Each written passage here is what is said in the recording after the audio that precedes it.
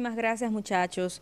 La verdad es que, que es de gran preocupación lo que estamos observando con el aumento en la positividad, en los contagios, en las ocupaciones de las camas. Usted lo dice y no lo sabe. En San Francisco de Macorís y en el país. Señores, hablar de que la principal eh, ciudad de nuestro país, el distrito, no hay camas, no hay disponibilidad. Hablar de acontecimientos como lo que pudimos ver ayer en los medios, de hecho subo la imagen ahí, de que una persona sencillamente fue amenazando a un centro de salud en un punto de desesperación para que se le atienda a su madre.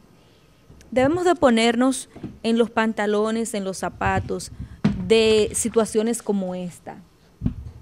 Esto conlleva a pensar lo siguiente, debo de cuidarme yo, debo de cuidar mi familia, debo de cuidar mis padres, debo de ser eh, consecuente, debo de ser una persona responsable, debo de ser una persona que sienta afinidad con lo que está pasando en el país y en el mundo.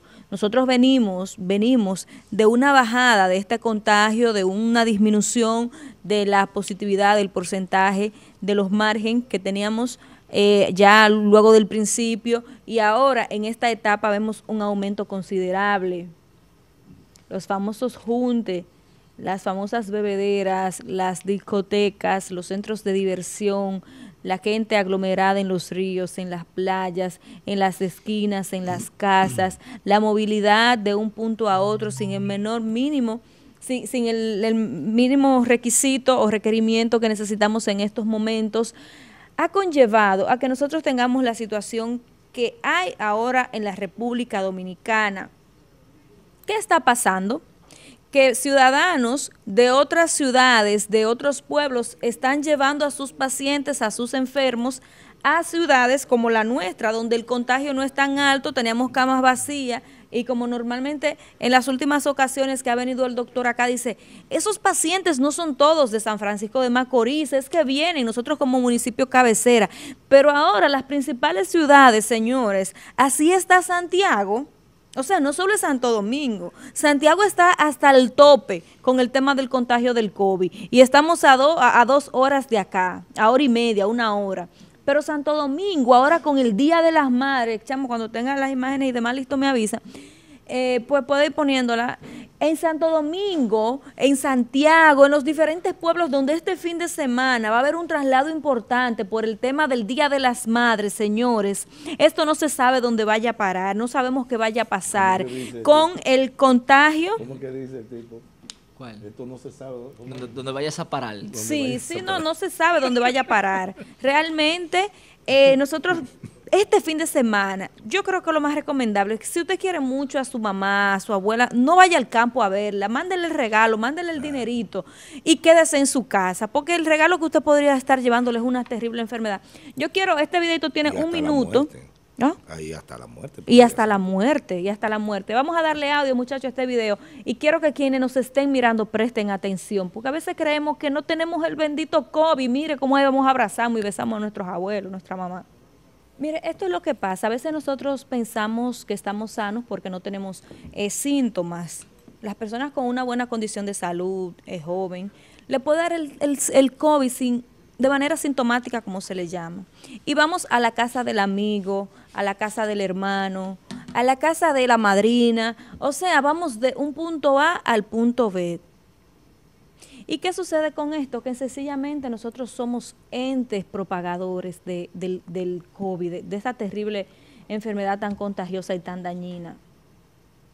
Se están haciendo demasiados esfuerzos desde el gobierno. Se están haciendo demasiados esfuerzos desde la parte médica. Hay que decir, yo había parado de hablar del, del COVID porque es que ya uno llega a un punto en que, como decía Vladimir, uno se harta, se cansa.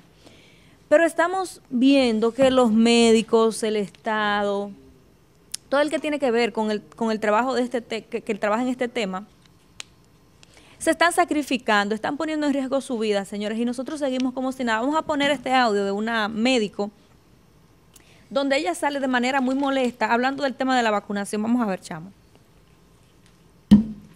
Lo tenemos.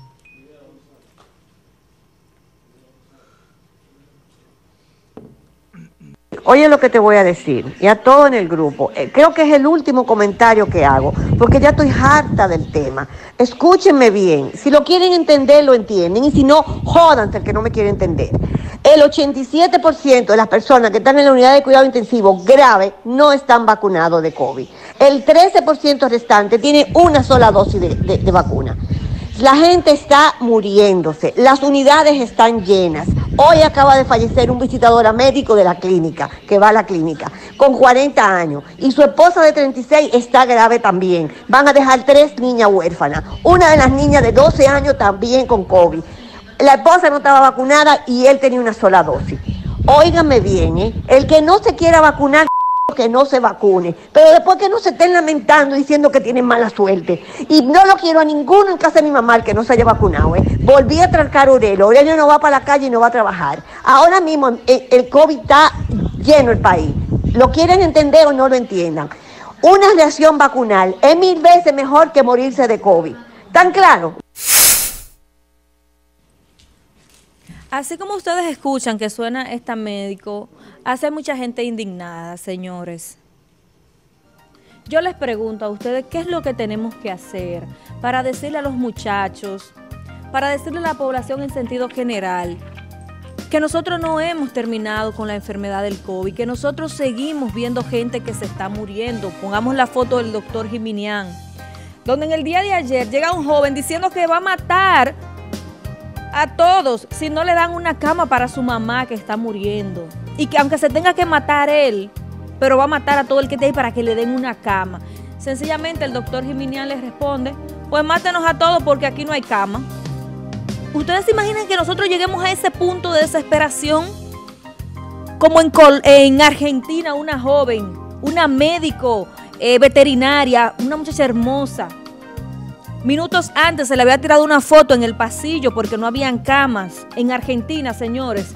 Y luego a la una o dos horas, la joven murió esperando una cama, un respirador que le atendieran porque no hay disponibilidad. O sea, vamos a entrarnos esto en la cabeza, amigos televidentes, para salir del COVID. Gracias, Carolina. Señores, vámonos a los WhatsApp. Vamos a ver qué dicen nuestros amigos a través de la red social WhatsApp. Adelante, Yerjan Lanti. El 2020